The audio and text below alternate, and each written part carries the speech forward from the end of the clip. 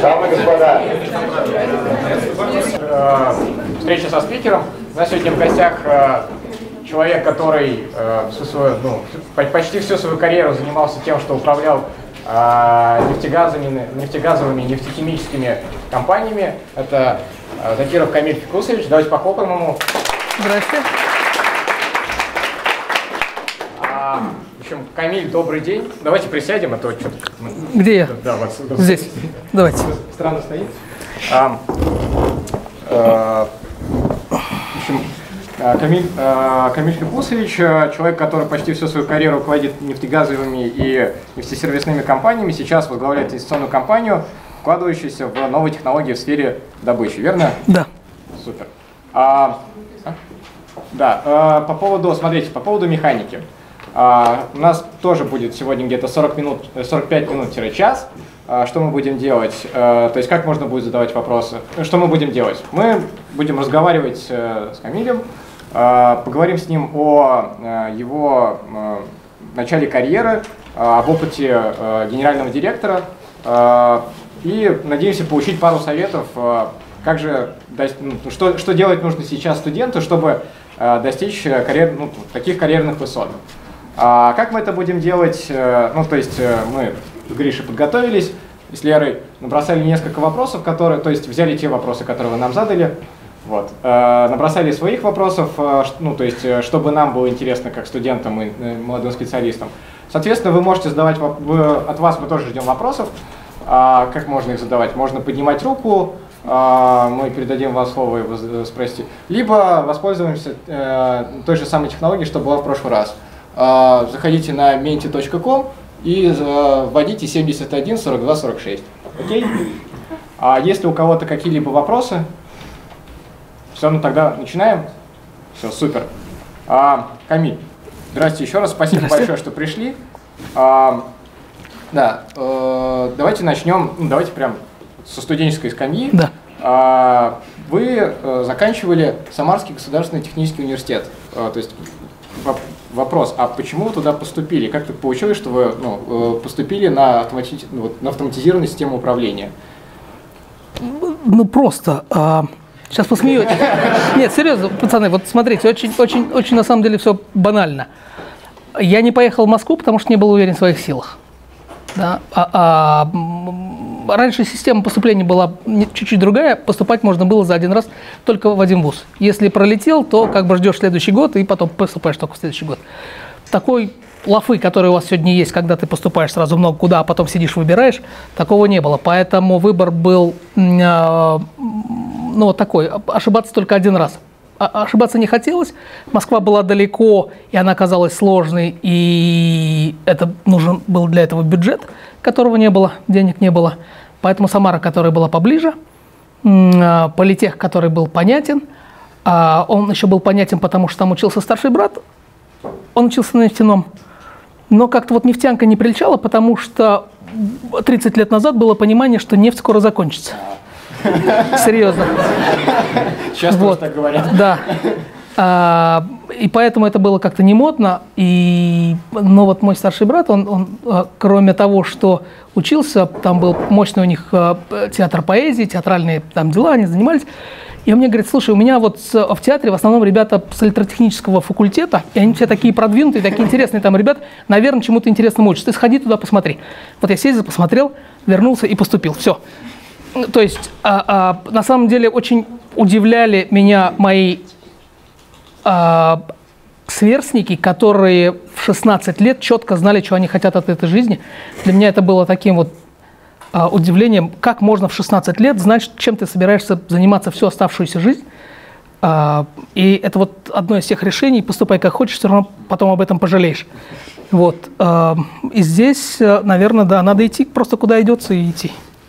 Так получилось. То есть вот, да, этот ответ так получилось. То есть изначально вы не знали, куда именно вы пойдете? А, понятия не имел. Но просто, серьезно, по- а, а, просто потому, что это был продвинутый по факультет, и вот под этим названием а, а, скрывается робототехника и все такие вот модные вещи. А 30 лет назад это только-только все начиналось, и было очень здорово, а, и было модно. Я н- абсолютно не понимал в электронике, в электротехнике, но как-то вот, да. Понятно. Вот вы поступили, и, и настала пора студенчества. Что вы именно делали в эту пору, и как она вам помогла при движении в дальнейшем? Смотрите, вот я сегодня специально пришел пораньше, чтобы посмотреть на вас, да, а, и очень приятно посмотреть, потому что вас никто не заставляет, да, вам за это оценки не ставят, стипендию вам не платят за то, что вы сюда ходите, там, и так далее, да, и никакой гарантии, что завтра, закончивший вроде такое крутое мероприятие, будет какая-то от этого плюс, никаких гарантий никто не дает. Да, вот. Но тем не менее, а, а, я специально наблюдал, вы все активно работали, никто не халявил, никто спокойно, хорошо, а, а, и за уши притянуто ничего не было. Вы занимаетесь делом, которое вы видите интересным. Это здорово. Студенчество же такое время, оно самое благодатное. С одной стороны, открываются возможности, с другой стороны, у вас еще нет пока то, что называется liabilities, да, ну, ответственности нету. Вот, поэтому это короткое время, но скоро закончится, потому что с каждым следующим днем а, а, ответственность будет нарастать, а, и свобод будет все меньше и меньше и меньше. А пока вот то самое замечательное время, когда нужно что-то делать. Кроме того, что в школу ходить, делать надо что угодно, вообще что угодно. А, И то, что вы, наверное, еще чем-то каждый занимаетесь, но то, что вот есть замечательная такая инициатива, где вы трудитесь, здорово, здорово, мне нравится. А, Чем мы занимались? Мы били баклуши, мы а, активно делали каждый год студенческую весну, а, мы участвовали в КВНах, мы а, где-то работали в лабораториях, мы пытались немножко зарабатывать деньги там, где это было можно делать легально. Вот. э, Ну, собственно, наверное, не сильно отличаемся от сегодняшних студентов в этом плане тоже. Вот весь этот набор. И, собственно, чем э, хорошо э, активничать в это время, это вот как ребенок, когда встает на ноги, да, ходит, бьется головой, там падает, встает опять и так далее. Ребенок нарабатывает навыки. Вы также нарабатываете навыки по взрослой жизни. Да, вот всеми этими и баклушами, и, я не знаю, танцами, и а, вот студенческими клубами и так далее, вы нарабатываете, а, собственно, навыки. Вполне возможно, не дай бог, ну там пару лет а, по каким причинам не будет а, сильных, а, значит, людей, которые вот сейчас с энтузиазмом тянут все это, разочаруются они и так далее, распадется это дело. А, опыт все равно не пропадет. Опыт не пропадет. Вот наработанные все м, знания, умения, связи, все, что хотите, это, это отличный опыт, опыт взаимодействия, опыт решения проблем и так далее. Скажу важную вещь. Э, вы- Статистика есть какая-нибудь? Сколько студентов работают по своей специальности? Мне кажется, ну, у нас... У нас Закончивший. Я, я- не могу сказать, но мне кажется, что очень мало. Вот а, а, мой курс, который закончили по специальности, а, было две группы, по специальности работают человек 5, наверное, из человек 40. А, мы всегда мучаемся, какую профессию выбрать, какую специальность выбрать и так далее. Вас в институте больше учат не профессии, вас тренируют мыслить мозгами. Точка. А чем заниматься в жизни, вас жизнь потом научит, заставит там и так далее. Вы там нащупаете сами по себе, да? А, Здорово, если по специальности. Если не по специальности, абсолютно так же здорово, потому что а, в первую очередь у вас натренированные мозги, вас учили думать, вас учили воспринимать информацию, вас учили принимать решения, разбираться в этой информации и так далее. Вот сдавать экзамены – это большое дело, да? А, уметь, потому что что ты делаешь? Ты достигаешь, у тебя есть цель, ты ее достигаешь. Какими путями? Это твой выбор, да? Но ты достигаешь своей цели. Это главное. Вот, поэтому а, вот большое мучение обычно бывает у молодежи. Ту ли я специальность выбрал, а там ли я сижу. На самом деле, по большому счету, большой разницы нету, да, потому что вы учитесь в первую очередь, м, я повторюсь, тренируете мозги, тренируете себя самих. Ну, то есть любая активность это круто. Да, А, однозначно. Однозначно. Сидеть на известном месте, вот это не круто. А вот активничать, что угодно делать, это круто. Уже через год после выпуска вы Да. с- начали работать в международной компании. Как у Да. вас это получилось? Так получилось. Нет, ну, нет, расскажу. Расскажу, нет, нет, нет, нет, нет, нет, нет. Смотрите, есть что похвалиться. Реально есть что похвалиться. А, Когда, надо признаться, что учеба в политехе не была сложной совсем. А, В Самаре у нас было даже такое, там, поговорка такая была. А, Как это?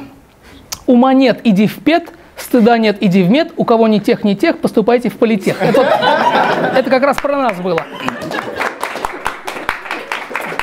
А, И, о, повторюсь, учиться было не очень сложно, а, но как-то а, дергалось внутри, что что-то я вот, наверное, не дорабатываю, что-то еще, наверное, можно. И в какой-то момент а, появился английский язык, и появилось понимание, что английский становится необходимым, нужным, обязательным, как примерно знание компьютера, как такие вот вещи, которые тоже появлялись только-только. И вот язык, язык, язык. Мы пошли на нашли какие-то курсы, начали заниматься, а потом э, пришло понимание, что это как вот спортзал пойти. Записался в спортзал, первые две недели бегаешь с удовольствием, вторые две недели бегаешь без удовольствия, а потом совсем не ходишь никогда. Вот. Здесь примерно такая же ситуация начала проявляться, и чтобы а оно так не случилось, э, я там придумал такой ход хороший, я считаю. Я громогласно всем друзьям, всем сокурсникам а, а, заявил громко, что я буду защищаться, защищать диплом на английском языке. Все сказали «Вау!» и все, естественно, ждут. А когда все ждут, то уже варианта свалить уже не остается, и поэтому мы доучились на английском языке, и я первый студент в истории Самарского политеха, который защитился на английском языке. И э, когда вот стало понятно, что язык прогрессирует, и можно, э, и это получается некий скилл, который немножко меня отличает от там, большинства таких же студентов, естественно, если ты обладаешь чем-то отличающим тебя от остальных, то на этом надо, конечно, максимально капитализировать. Вот. А это было время, когда только-только открывалась страна внешнему миру, и, и поэтому я решил капитализировать на этом деле. И два года пробивался, у нас был завод такой, а, погружных электронасосов «Алнас». Он был продвинутый, он тогда, а, в конце 80-х годов, торговал своей продукцией в Европу, в Америку, там все было круто. И у них был а, отдел внешних связей – я два года туда, будучи студентом, пытался, ну, ходил э, в зимние каникулы, пытался встретиться с директором, даже под, ну, удавалось встретиться. Говорил, что я такой замечательный студент, изучаю английский язык э, и так далее. Он обещал меня взять. Вот, поэтому я пробился в итоге туда, а потом э, у данной компании было совместное предприятие с англичанами, сразу попал туда. Вот. Круто. А... Мораль вот из этой истории мораль какая? Ребята, если вы можете в этой жизни нащупать что-то, что вас отличает, и его вот разработать себе, какое-то умение, какое-то знание, какое-то чего-то, это большая вещь, про это поговорим отдельно, на этом надо сразу капитализировать. Потому что все все умеют. И все там плюс-минус более-менее одинаковые.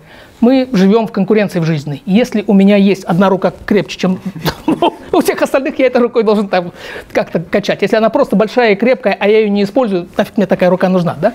Здесь если у вас есть какой-то а, а, выдающиеся способности, э, скиллы и так далее, и вы их можете развить, то, конечно, на этом надо постараться потом капитализировать как-то.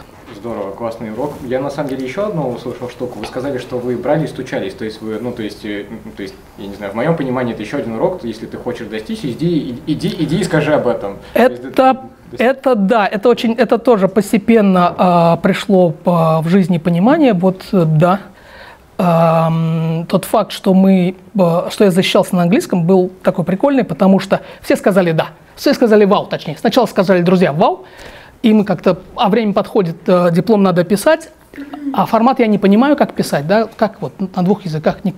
Прихожу э, в, в, в этот, на кафедру, говорю, вот такая идея. Они, о, круто, молодец, давай, делай. Я говорю, а как надо? Они, да мы не знаем, в деканат сходи. В деканат. То же самое, реакция такая же хорошая. Как, что? Не знаю. Сходи на кафедру иностранных языков. Пошел на кафедру, то же самое. Три главных э, в данном случае подразделения, все говорят, здорово, типа идея поддержим, но не знаем как. Вот, пришлось физически вот так вот выдернуть их всех, собрать, э, э, посадить их вместе за стол. Они договорились, какой формат всех устроит, э, и в итоге мы это сделали. Да? Здесь, здесь какая мораль может быть? Смотрите, у нас у всех в этой жизни есть какие-то наши хотелки, задачи, там, цели, которые мы хотим достичь. А, но мы все живем в неком бронском движении. Когда я хочу дойти из точки А в точку Б, хочешь не хочешь, чей-то интерес мы там где-то пересекаем. И нам очень бывает страшно, да, вот много каких-то больших дядек, тетек в этой жизни, а я маленький, они все занятые такие, а у меня какие-то мои маленькие хотелочки и так далее. А если всю жизнь этого бояться, то ничего в этой жизни не получится. И тут нужно понимать, что вот эти дядечки и тетечки большие, они такие же человеки. у них такие же свои хотелки, у них такие же свои задачи и так далее. А ваши задачи и хотелки ничуть не меньше и ничуть не менее важны, чем их хотелки и задачи. Более того, коль скоро эти ваши хотелки ваши, и они важны вам, и от того, что случатся, они не случатся, зависит ваша как раз жизнь, судьба, там, что хотите, то надо идти и делать, и обращаться к тем самым большим дядям и тетям и говорить, я хочу вот это и это. Потому что у тети и дядь, у них, э, э, дядь и тетя, тетя и дядь, у них список своих там задач, и ваша задача вполне может попасть туда. Да? Почему вы обязательно должны быть внизу списка этого? Вы можете прийти и сказать, мне очень надо, и попасть наверх туда. Пока не спросите, не узнаете, пока не попросите, не получите результат. Поэтому, когда очень надо, надо вставать, идти и делать просто. Жизнь показывает, что это возможно. А когда мы потом узнаем, вот этот вот мем-то популярный сейчас, да, что так можно было. Вот, ну, вот это прям вот, это прям из жизни, абсолютно. Мне кажется, ну, то есть это о переговорах, я думаю, об этом мы поговорим чуть Да, позже. да. А сейчас еще один вопрос. Вот получается, э, если посмотреть на биографию вашу, Да. через 4 года после того, как вы попали в компанию, вот в Ramp Energy, да, через 4 года вы уже стали, э, ну, таким управляющим, Да, операционным менеджером. да. А, как? 4 года. Специалист. Ответ знаете, так получилось. Смотрите, нет, ну здесь а, а, как, не знаю как. А, сейчас попробуем как-то объяснить. А,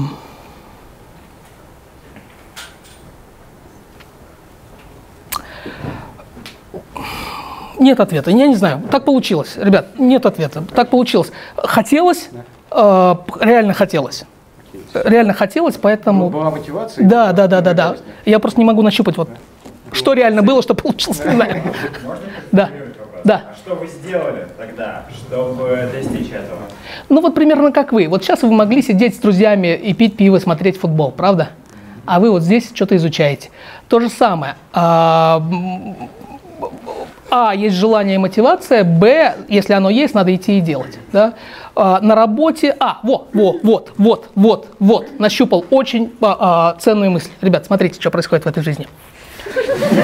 А, в любом коллективе, э, ну не знаю, может сейчас молодежь немножко по-другому, но вот э, в нашу молодость, в школьном коллективе, в классе, там, я не знаю, с пацанами, там, с ребятами, с кем-то, очень часто, когда м, есть там задача, что-то надо сделать, и народ такой сразу, «У-у-у», так, а кто-то подскакивает такой, я пойду сделаю.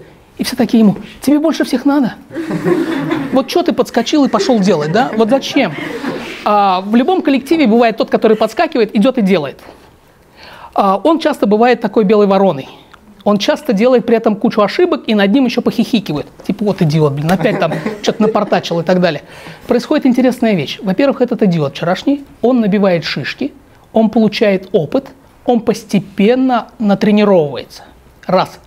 А во-вторых, идем по жизни, и в коллективе встает вопрос, какая-то большая серьезная задача. Кому дать? Тут уже даже нет вопросов. Ну, Вася, конечно, он всегда идет и делает. Понимаете? И потом дальше, вы когда работаете, это то же самое. Вы работаете в коллективе, а, а, выходят разные задачи. Кого-то надо ставить начальником.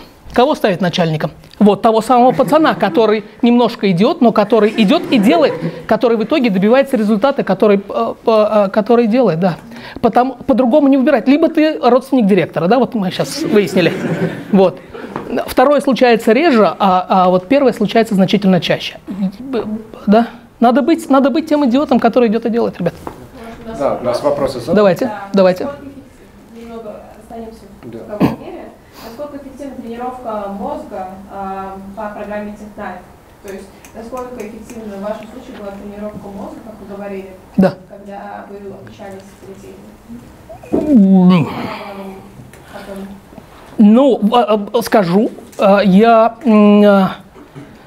тоже вот хвалюсь не теми вещами сегодня получается, но э, тем не менее. И это в жизни тоже получился очень серьезная, серьезная помощь получилась. А, Надо признаться, я не лучший был студент с точки зрения систематичности учебы. Да? Мог где-то пропускать, мог где-то недоучиться и так далее. И а, приходит момент раз в полгода, когда момент истины, да, когда нужно прорваться через, а, по- через а, сессию. А, и какие-то предметы ты конкретно понимаешь, что ты там где-то напро- напропускал, недо- недопонял и так далее, но у тебя есть задача получить оценку regardless. И здесь постепенно начинают включаться внутренние механизмы того, где ты получаешь результат, имея недостаточно ресурсов. Сейчас объясню, что такое. А, Ну, то есть в данном случае это получить нужную тебе оценку при условии, что у тебя не все знания есть. Да? И здесь нужно креативить. Где-то это были банальные списывания, да. Но не часто. А, Ты просто включал мозг а, и ставил себе задачу не изучить весь предмет, потому что в последнюю ночь прочитать этот э, учебник невозможно, да? А задачу по-другому надо ставить. В таком случае уже когда поздно э, учить э, э, теоретическую механику, но за- на завтра по ней нужно получить, допустим, оценку. Тогда вопрос э, а, ставится не знание получить, а получить оценку. А это другая задача. И она решается немножко по-другому всякий раз. Да? И дальше это пригодилось а, а, в, том плане, что в жизни, когда ты решаешь какие-то другие задачи, у тебя ресурсов всегда не хватает. Денег не хватает, людей не хватает, материалов не хватает, знаний не хватает и так далее. А нужно получить результат. И это прикольно, когда ты можешь получить качественный результат, а, при условии, что в начале пути у тебя явно не хватало ресурсов. И вот способность э, добиваться таких вещей, а, это тоже большой опыт, который я оттуда из института вынес. Что я имею в виду? Да, а, а, получ- Вот я наговорил сейчас это, может быть, неправильно был, ну, может, слишком... а, надо смотреть, кому ты сдаешь экзамен. Надо думать о том, что этому преподавателю от тебя надо. А, надо работать на этого преподавателя да, а, в получении твоей оценки. А, надо думать про кафедру, у кафедры какие. Ну, то есть вот всякий раз находить те точки, на которые ты можешь сработать, потому что у тебя задача конкретная, банальная и простая. Тебе нужна нужная тебе оценка. Вот. И повторюсь, это не всегда через знания а, а, получается. Очень часто бывает, и вы, наверное, тоже с этим сталкиваетесь, а, ребята, которые знают материал, выходят с тройками, а какой-нибудь проходимец выходит, раз у него пятерка. Бывали такое, да? Наверное, бывает. Э, Вот. Это вот разные немножко вещи в этой жизни. В этой жизни нужно и материал знать, и уметь прорываться, да, получать результат. Не прорываться, а получать свой результат. Вот эти вот две а, а, не всегда одинаковые вещи, да, они частенько бывают разные. Спасибо. А, Мы говорили о том, что, ну, э, то есть мы переходим такой плавно там, от вас, как молодого специалиста, к э, вам руководящему. Да. То есть э, у нас сегодня была тема мастер-класса «Переговоры». Вам наверняка там в роли вице-президента, Да. в роли SEO неоднократно приходилось проводить переговоры. Да. Расскажите о своем опыте, не знаю, расскажите какой-нибудь самый интересный, запоминающийся кейс и э, ну, что, что, что вы в нем делали, не знаю, техники, Да. техники, вот, как это все происходило. Слушайте, ну а, а, переговоров много разных было, да, каждый день переговоры, ты, ты ежеминутно с кем-то о чем-то торгуешься. А, я бы немножко вот про большую картинку переговоров поговорил. Что есть переговоры? Переговоры есть, есть ваш путь. Да, переговоры есть ваш путь достижения необходимого результата. Правильно? Как сказал Остап Бендер в нетленном произведении эм, «12 стульев», эм, переговоры есть путь к согласию, а согласие есть э, продукт при взаимном непротивлении сторон. А, Значит, эм, что такое переговоры? Переговоры – это когда тебе нужно убедить противоположную сторону в твоих задачах. А, Существует миллион м, техник, существуют ну, целые школы, ассоциации переговорщиков, а, а, очень много разных техник, прикольных техник. Там простейшие, известные, там плохой полицейский, хороший полицейский, да? Вы выставляете двух людей, один гнобит, гнобит, гнобит, потом появляется второй, и та сторона, которая уже устала от нехорошего, с радостью прыгает в объятия и говорит, да, согласен, все, подписали, побежали. А, э, либо бывают э, м, техники разговорные, там кодируют противоположную сторону, там техники разговоров, каким голосом, кому надо заглянуть в глаза и как сказать надо. Или бывают техники, когда, знаете, вот в некоторых компаниях даже есть такая техника, в переговорной комнате вешают портреты а, а, работников и руководителей компании. Человек, когда приходит со стороны, он садится, а напротив него один или два или три, то тут, получается, целой толпой наваливаются, да?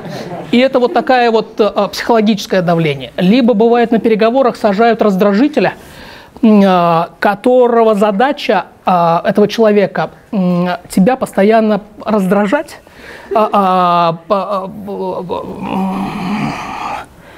выводить из себя, собственно, да, он не участвует в разговорах, но он находит одно-два слова, чтобы тебя постоянно выводить из себя, постоянно выводить из себя, пока тебя ведут туда, куда тебя надо привести. У вас был такой случай? Бывают. Подождите, но не, вот я хочу сказать другую вещь. Вот э, иногда очень люди часто увлекаются вот этими техниками, часто увлекаются. Это техники, это инструментарий. Это по, э, по большому счету не так ценно. Ценна возможность или невозможность получить ваш результат. А техники это, ну так, немножко, можно так заходить, можно так заходить. А, бизнес-школы иногда увлекаются, вот рассказывайте техники, и мы воспринимаем переговоры как некую войну, как некую, как некую драку, что нужно вот победить ту сторону обязательно и так далее. Я считаю как раз ровно наоборот. Ну, опять, это банальности некоторые скажу. Э, Из любых переговоров, из успешных переговоров обе стороны должны выйти с пониманием, что они немножко надули противоположную сторону. Причем обе стороны. А, Также в переговорах а, обе стороны, выходя, они немножко дураки и идиоты, потому что они немножко проиграли. Это тоже все для себя должны понимать. А, Даже если вы станете хорошим переговорщиком и будете этим серьезно пользоваться, то это может работать против вас. Вы один раз нагнули там противоположную сторону, второй раз, третий раз. Очень быстро все узнают, что вы такой вот мощный переговорщик, с вами никто делать будет, не будет дела иметь. Вас все будут э, бояться, игнорировать, убегать там от вас. А вам нужно же, вам же не один раз нужно выиграть. И вам нужно а, а, выиграть не переговоры, а вам нужно получить результат. А переговоры это лишь маленькая часть а, а, в, в долгой дороге получения результата.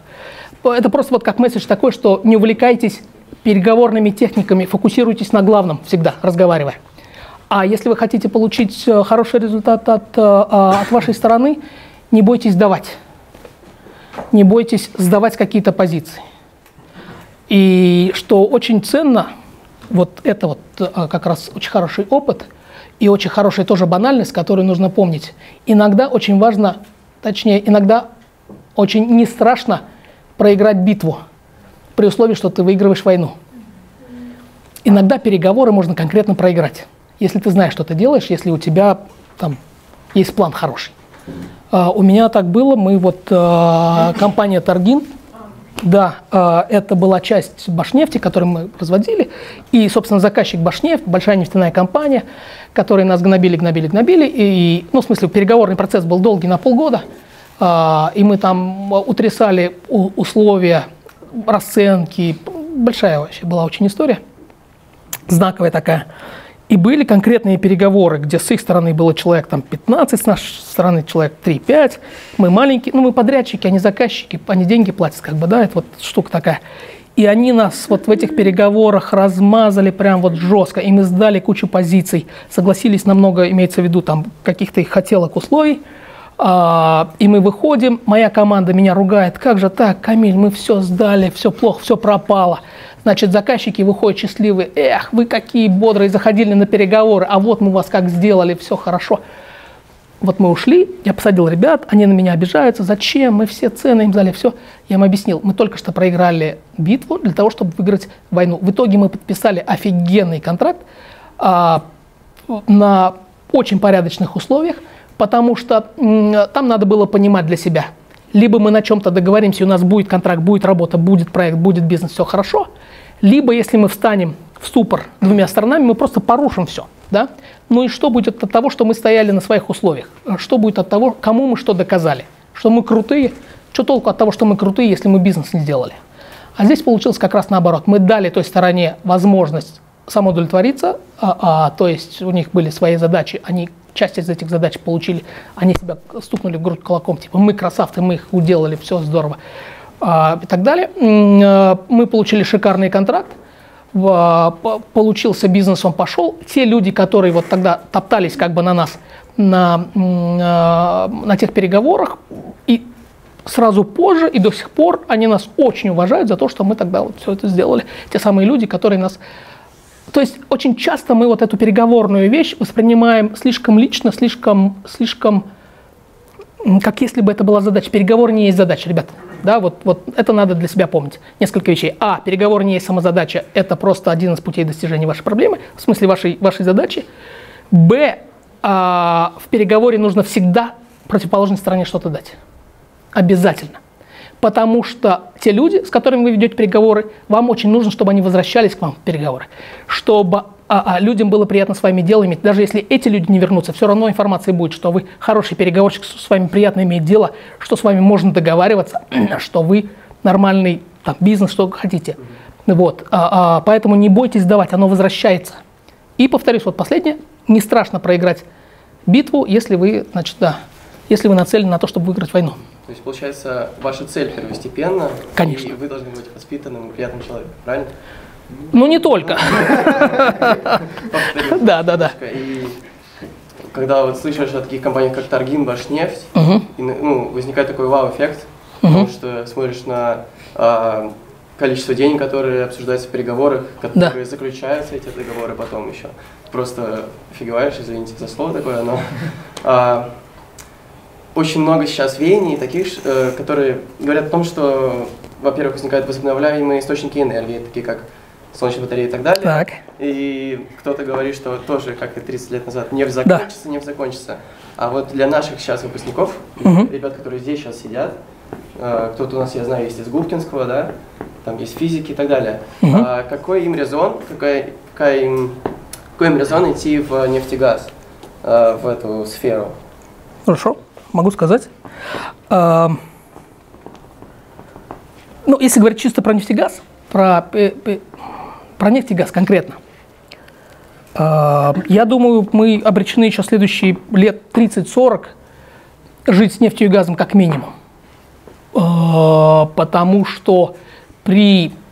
Я тоже люблю солнце, я тоже люблю вот самое, все эти вот хорошие вещи. И я, как и все, обожаю там и Илона Маска, и все остальных, э, значит, хороших ребят, которые все это делают. Но а, в течение ближайших еще нескольких десятилетий нефть и газ будет а, основным источником энергии на планете. Перед. Вариантов нет. Даже если сегодня мы научимся а, делать э, экономич- экономичные п- электрические машины, а мы еще не научимся их с десяток лет делать, да, потому что а, супердорогие сегодня Tesla, Jaguar, еще несколько машин, которые есть электрические, они супердорогие, они все субсидируются. Даже вот а, те огромные ценники, по которым они продаются, это неправильные ценники, нечестные, они субсидируются государствами. То есть пока еще все это а, сложно и дорого, раз. Если даже мы изобретем а, дешевый автомобиль, то а, представьте, сколько нужно будет сил и усилий, чтобы поменять всю огромную инфраструктуру, которая сегодня построена именно на а, двигатель внутреннего сгорания. Да? И все с этим связано. Раз. А, вся энергетическая система, мы до сих пор большее количество электроэнергии вырабатываем при помощи тех же самых нефти и газа, мазута, угля и так далее. Большую часть нефти и газ. Нефть и газ как источник э, материала, углеводород как материал, пластики, резины, все, что хотите, да, все это тоже оттуда делается. Поэтому нефть и газ еще будет сколько-то лет. Но, как сказал э, один грамотный товарищ, которого э, я имя сейчас не вспомню, он был министром нефти Саудовской Аравии, он сказал, что каменный век закончился не потому, что закончились камни. Вот, нефтяной век тоже закончится а раньше, чем закончится нефть. Вот просто это к диалогу «Сколько нефти на земле?» Ее достаточно еще дофига.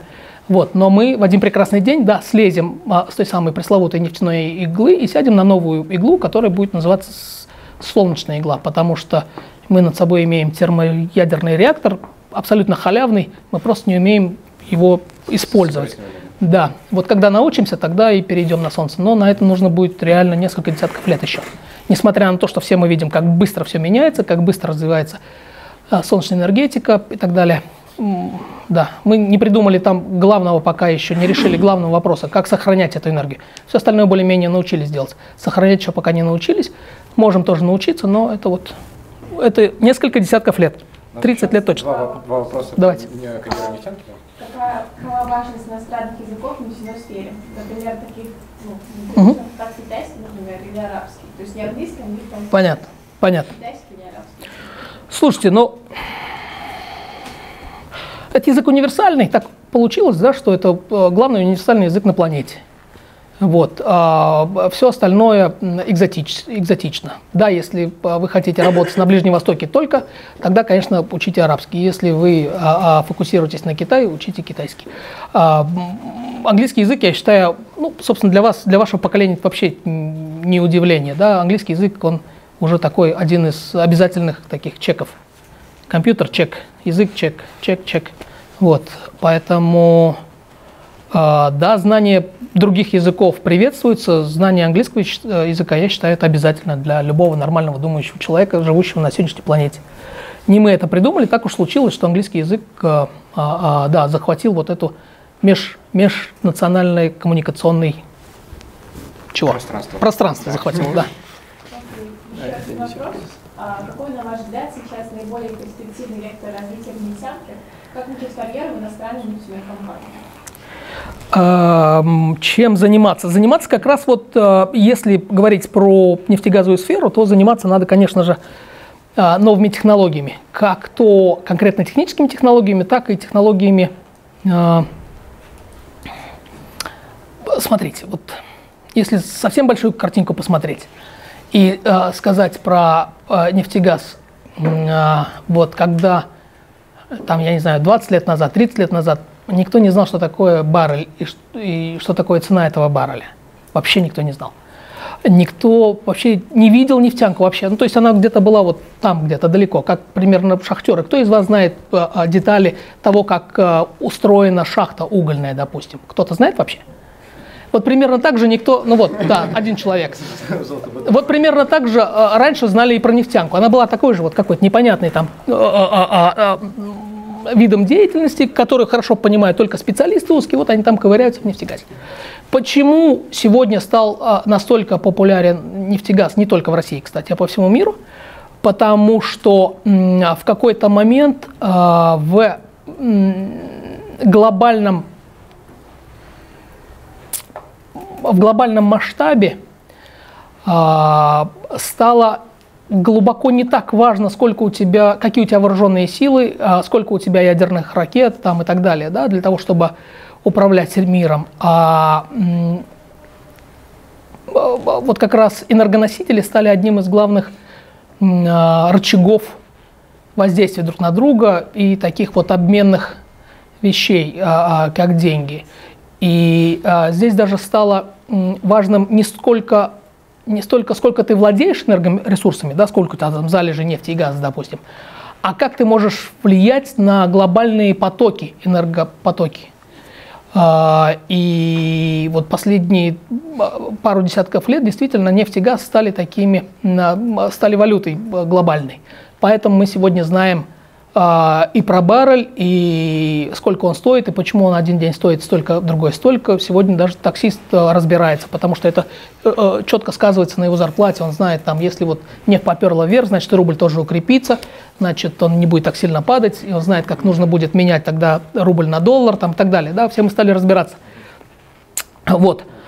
А, я к чему? К тому, что а, если конкретно по нефтянике касаться, это технологии по тому, как ее лучше добывать или как ее лучше перерабатывать и так далее. Технологии. Но технологии, повторюсь, не только технические, а технологии именно коммуникационные, торговые, а, геополитические.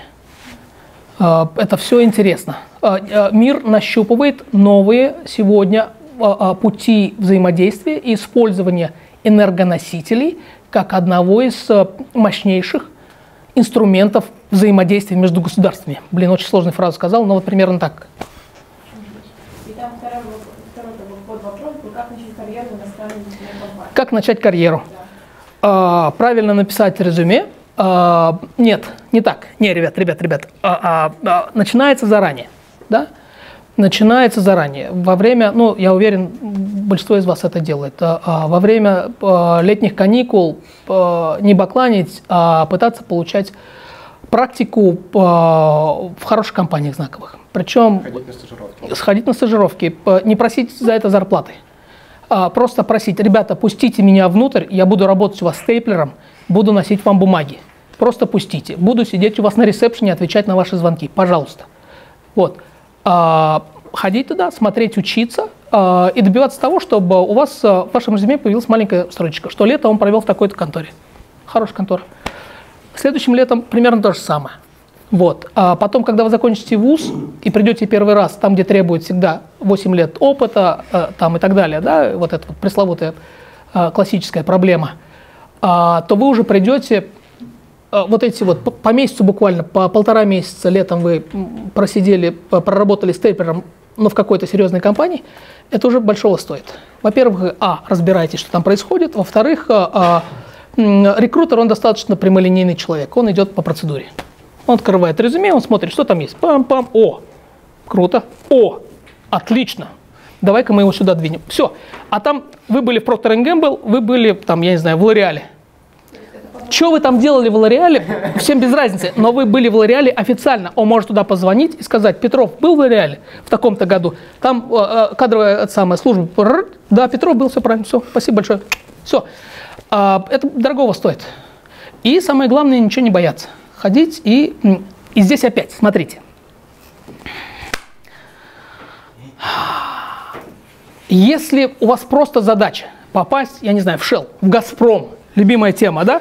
Российская игра. Попади в Газпром называется. Да, да, да, да, да. Стань уборщицей Газпрома.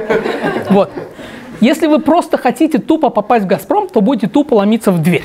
И будете тупо получать стандартный ответ. Да? Компания защищается. У нее много наработанного инструментария, как тебя отпинывать. Вот. А, Поэтому нужно смотреть с другой стороны. Всегда нужно смотреть не своими глазами, а глазами противоположной стороны. И это как раз одна из главных техник переговоров. Вы когда садитесь за стол переговоров, смотрите глазами, то- э, сажайте себя на, вот на то место, да, и разговаривайте э, а, вот с тем человеком, как если бы это были вы и сидели там. Здесь то же самое.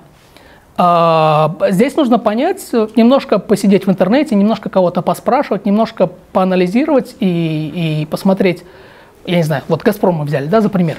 «Газпром» вообще берет людей вообще физически? Если берет, то куда берет? На какие вещи?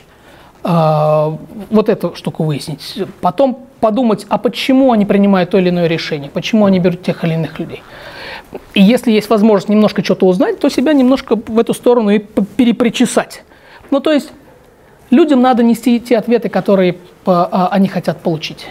У «Газпрома» те же самые задачи. Им нужны правильные головы, им нужны хорошие рекруты, им нужны хорошие специалисты. У них большая проблема. У них нету нормальных специалистов, у них нету нормальных а, а, postgraduates, а, они не знают, где найти нормальных ребят, потому что все, кто приходит, какие-то сволочи, идиоты, бездари, неучи, замучились мы с ними. Вот, у них точно такая же проблема, ребят. Дайте им, принесите им подарок. Сделайте так, что они на вас посмотрят и скажут, ну вот, наконец нормальный человек пришел, слава богу, давай мы его сюда сунем. Это можно делать, надо немножко включить креатив, надо немножко включить, э, э, там, раскрыть ушки, открыть глазки и посмотреть сначала, прежде чем вы пришли. Повторюсь, у всех этих э, компаний, естественно, куча фильтров на входе стоят, как вас туда не пустить. Вот. А, а, да. Надо поспрашивать, надо посмотреть, и надо дать им тот ответ, который им нужен. Так же, как в любых переговорах, так же, как в любых взаимоотношениях. Давайте. Большое. Когда вот вы сказали, что типа этот не очень тупой, этот как Да. еще, а как быть тем самым, вот, я не знаю, по молодые специалисты приходят, Да. какие-нибудь, вот как быть тем молодым специалистом, что сейчас делать, чтобы после университета прийти в компанию и сказать, да ты нормальный, типа я тебе там что-то поработал. Хорошо, смотрите. а, а, ну, во-первых, все компании проводят, э, это факт. а, Даже, ой, прошу прощения, да. давайте уточню, скажем так, не что делать, а я не знаю, какие качества, я не знаю, какие навыки, кто должен быть, кем должен быть тот человек, которому бы вы там после студенческой скамьи вы бы сказали, что это достойный человек, который там обладает большим потенциалом, мы ему что-то доверим. Но он себя должен проявить. Он, он, должен, он должен появиться. Он должен... Слушайте, в этой жизни мы все себя продаем. Каждый день. Так или иначе. Вот в взаимоотношениях друзей. Два приятеля. Вы думаете, вы просто так общаетесь? Вы не просто так общаетесь. Вы друг другу чего-то даете. Просто если вы друг другу ничего не даете, вы не будете приятелями. Да? Вам- вы, вы друзья, потому что вы друг другу что-то даете, получаете. А, это вы друг другу продаете. Здесь то же самое, взаимоотношения э, работодатель и работник, то же самое. А, а, обе стороны а, а, дают и получают то, что им надо. И здесь надо смотреть глазами той стороны как раз. Что хочет работодатель? Какие задачи? Смотреть, что происходит. Да? Универсального ответа нету. Он будет неправильный ответ, если кто-то встанет и скажет, вот есть универсальный ответ, работает всегда во всех компаниях, вот делайте так и будет. Неправда. А, все компании отличаются, коллективы отличаются, у них культуры разные, у них а, ценности разные в компаниях, у них задачи разные. Надо просто смотреть. Надо э, универсального ответа нет.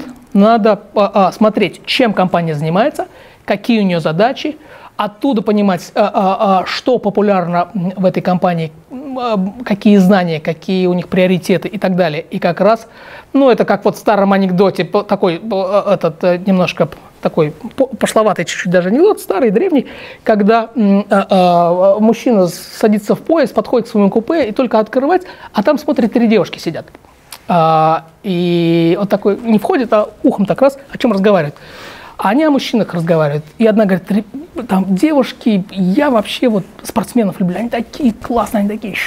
Вот. Вторая говорит, да что спортсмены, вот военные ребята, они вот настоящие ребята, а вот я военных люблю, которые в погонах и так далее.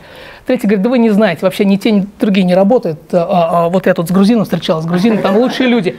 Вот, этот парень а, дверь распахивает и говорит, ой, здравствуйте, девушки, а, разрешите представиться, мастер спорта, подполковник Чигашвили. Вот. Это к тому, что если вы понимаете, что ценно там, в том коллективе, куда вы хотите попасть, продайте себя именно таким туда. Вот, вот наверное. Спасибо. А, вы сказали, что универсальных ответов нет, да? А да. можно мы немножко про вас поговорим? Да. Что вы, что вы цените в э, сотрудниках? Э, давайте так. Тут есть вопрос про ценности. Есть ответ. Да? Есть ответ. Есть про ценности, ваши ключевые да. ценности. Ну вот да. э, в чем вы бы знаю, были бы То есть какие, какие ценности, какие, что для вас? Нет, какие ваши личные ценности и что вы цените в других людях? Да, мои личные ценности э, остаться человеком да, чтобы, чтобы, потому что, смотрите, здесь мы тоже себя частенько загоняем. А, мы там нацелимся на какие-то результаты, мы нацелимся на какую-то карьеру, мы нацелимся на то количество денег, которое мы хотим заработать. Или, я не знаю, там, а, влюбить в себя там какое-то количество девушек, там, разные могут быть, да, у всех задачи.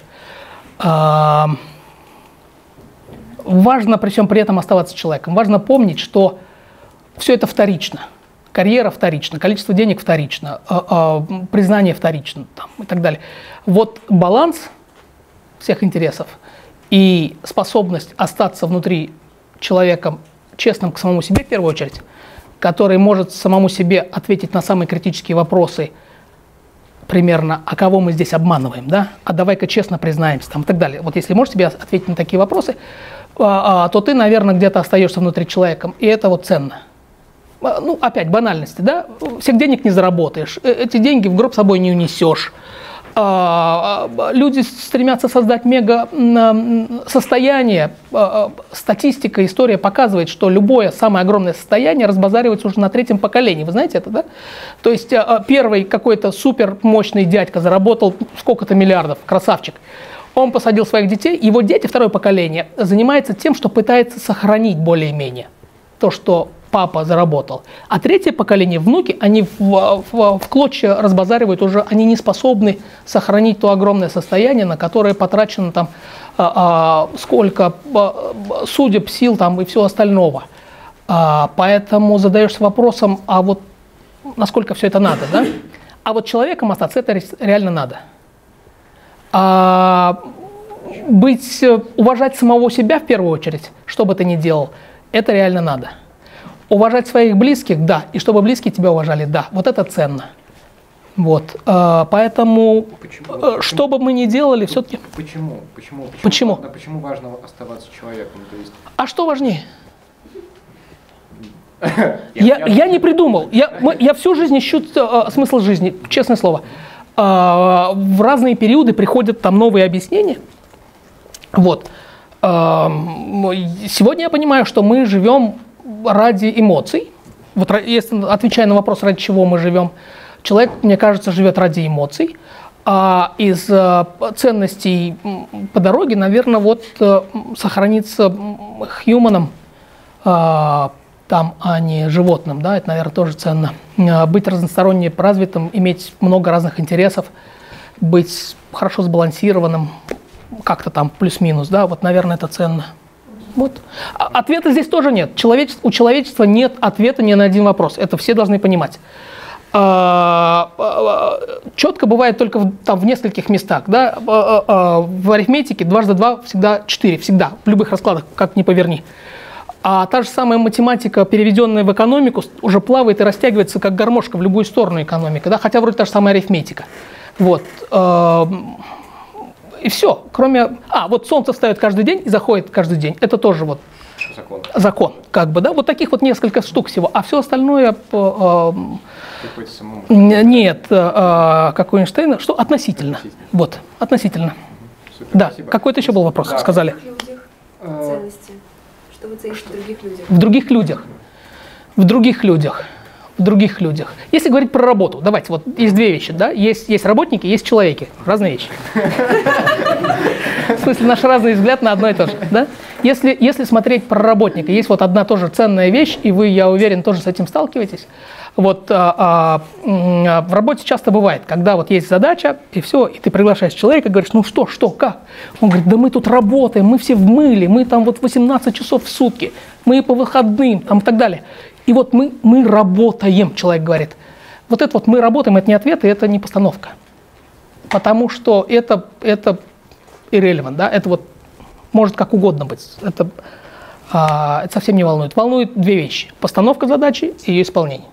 Все, что внутри, между, неважно, как человек сп- справился за два часа и потом э, там неделю курил бамбук, красавчик, значит, умеет как-то хорошо, быстро работать. Если ему то же самое приходится делать через кровь, пот, там, через мат и так далее, э, работая по 20 часов в сутки, это его проблемы. Э, А многие люди и многие из нас, мы увлекаемся процессом. Мы работаем. Вот неважно, работаешь ты или не работаешь, важно то, что была задача, есть результат. Вот это важно. Все остальное не важно. Поэтому ценны те люди, которые могут эти две вещи а, различать. И способность фокусироваться на а, главном. Вот это ценно. А если говорить про человеков в целом, то, наверное, вот это то, что я называл, а, оста- а, да, оставаться человеком и развиваться как человек. А, что важно и ценно. Учиться постоянно. Учиться всегда. А, а, м, ну вот, вот тут видно, да, я там учился много где. А, Два года назад я пошел в группу Сигежа, это очень крупная лесопромышленная компания, Крупнейший в России. вторая по размеру. Э, Первым делом сразу же пошел в, в Санкт-Петербургскую лесную академию учиться, да, потому что, ну, понятно стало, что нужны еще дополнительные знания, чтобы э, учи- учиться надо всегда, да, то есть ожидать, что вы получили самое охеренное образование и, и все, как бы, и круто, э, это неправильно. Да, человек э, а, сразу затормаживается и начинает деградировать, как только он перестал учиться. Вот это вот и, и оно само, э, у кого-то это бывает естественная тяга к знаниям постоянным, а где-то надо себя тренировать.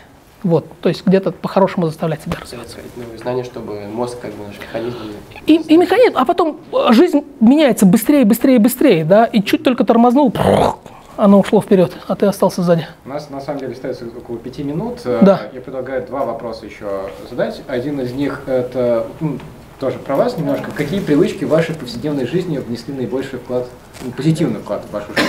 То есть какие, какие привычки сделали и вырабатываете ли их вы вообще? Да, да, да, да, да. Нет, привычки какие-то, вырабатываются с жизнью. Э, привычка и работа над собой э, э, это, наверное, поиск позитива с утра. Ну, все мы знаем, да, вот когда просыпаешься утром, меньше всего хочется улыбаться, меньше всего хочется идти там на учебу, на работу, меньше всего. И если а, к этому подходить, ну вот просто тупо надо, и тупо встал, то это ни радости не несет, ни и результат хреновый. Ам, способность находить позитив даже в не самых приятных а, а, вопросах а, дорогого стоит. А, и этому можно тренироваться, и можно этому как-то вот а, а, делать привычкой. Привычкой настраивать себя с утра, что день крутой, что все будет здорово, что создавать то самое настроение, создавать позитив, и тогда все вот эти проблемы, которые на тебя в течение дня наваливаются, или ждут тебя уже, ты с утра проснулся, а их много, да, но если ты успел перед тем, как вот окунуться в эти проблемы, если ты успел немножко в позитив настроиться, то, конечно, ты их съедаешь гораздо легче. Спасибо. А, ну, я думаю, что ну, у нас остается буквально две минуты. И контрольный вопрос в голову, давайте. Так, а контрольный вопрос был. У нас тут э, сидят студенты первого Да. третьего курса, Да. ну, еще наши члены сообщества. Э, не знаю, один совет или Мгм. несколько советов, которые вы бы хотели дать, которыми вы хотели поделиться. Как кому? Как э, студентам, как, Как э, студентам. да, как, как- как- как людям, которые сейчас э, скоро начнут, я не знаю, свой путь карьерный, Понятно. или уже ну, молодые специалисты. Окей? Понятно. Согласны с такой постановкой? Нормально, хорошо, давайте. Смотрите, самое главное, наверное, во-первых, не загоняться. Не бояться, да? А, а не загоняться в том плане, что а, все пропало, все плохо, или там а, не успел, и все рухнуло, а, там еще что-то. Очень часто мы себя загоняем, либо все плохо, либо все страшно, либо, либо все пропало, либо опоздал и теперь не догнать никогда.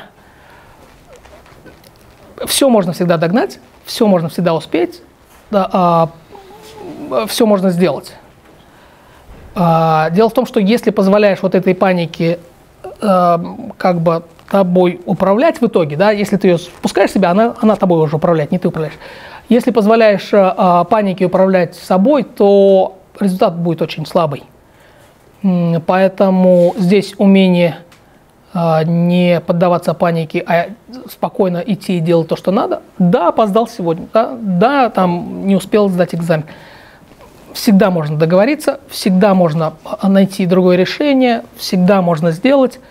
А, Я сам себя тоже периодически куда-то загоняю, вот, но а, вот оттуда надо вылезать. И вторая мега важная вещь, вот, вот, вот, А мы тихонечко ее коснулись немножко, очень важная.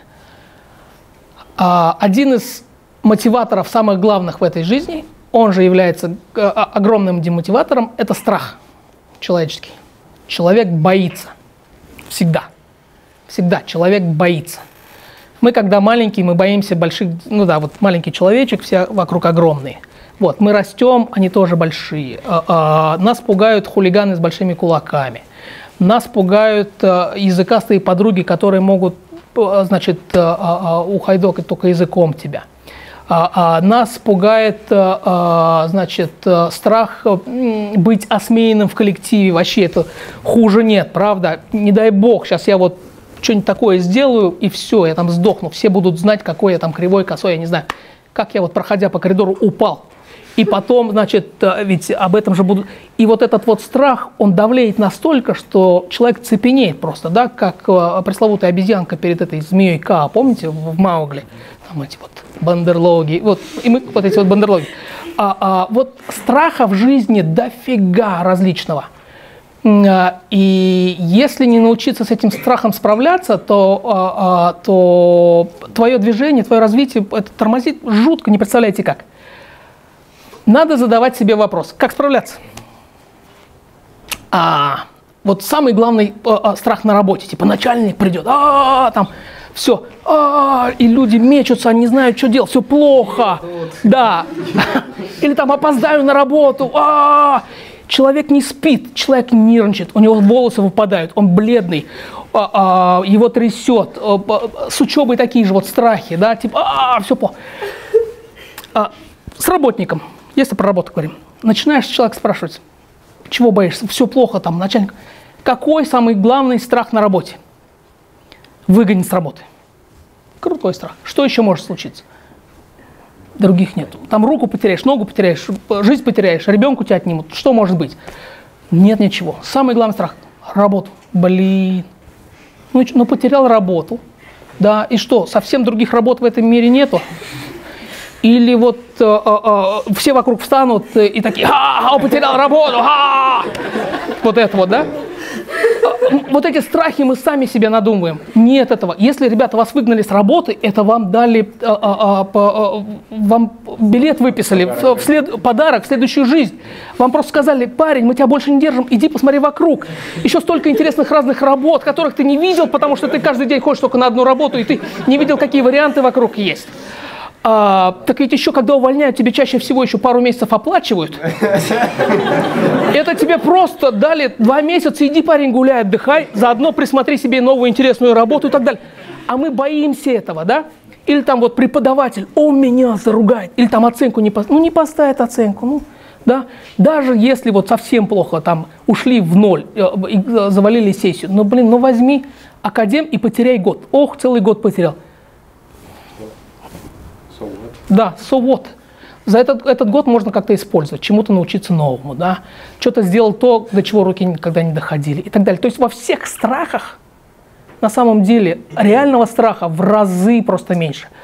А, мы боимся, мы боимся, а, а, мы бо... приходим с кем-то поговорить, все, голос теряется, дрожит, мы теряем все мысли, мы не знаем, что делать, мы не знаем, куда себя деть. Выходим потом, когда вышли, блин, я столько хотел умного сказать, хорошего, не смог. Есть всякие простейшие, есть простейшие упражнения. Там, я не знаю, фига в кармане есть такой, да? А, а, который вот не возьмешь, называется. Идешь встречаться с большим каким-то огромным дядькой, очень страшно. Нужно держать мысленную фигу в, мысленном а, кармане и говорить, не возьмешь, я, я тоже крутой. Все, договорился сам собой, договорился с этим дядькой. То есть вот таких вот маленьких инструментиков работы с собой, каждый работает там, находит разные инструменты, что с тобой конкретно работает, да, что, а, а, с чем ты а, реально работаешь. Самое главное понимать, что подавляющее большинство наших страхов, с которыми мы живем, они надуманные нами же. Вот. И если мы об этом помним, первый шаг к решению проблемы – это осознание проблемы, да, и принятие ее. Вот. Повторюсь, один из главных мотиваторов, и он же демотиваторов в человеческой жизни – это страх – надо просто с ними разбираться, с этими страхами. И когда ты с ними разбираешься, то э, жить легче. Наверное, хватит, да? Ну, я думаю, мы бы поговорили еще, но у нас тут... Э, да, у вас большие планы, да. Большие планы на этот вечер. Спасибо вам большое. Давайте. Спасибо.